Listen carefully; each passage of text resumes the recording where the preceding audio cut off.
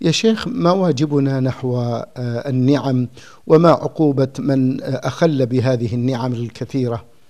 واجبنا نحو النعم أن نشكرها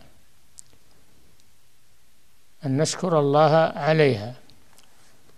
وشكرها يكون بالتحدث بها باللسان وأما بنعمة ربك فحدث وباعتقاد أنها من الله. سبحانه وتعالى وباستعمالها في طاعة الله. هذه أركان الشكر. نعم.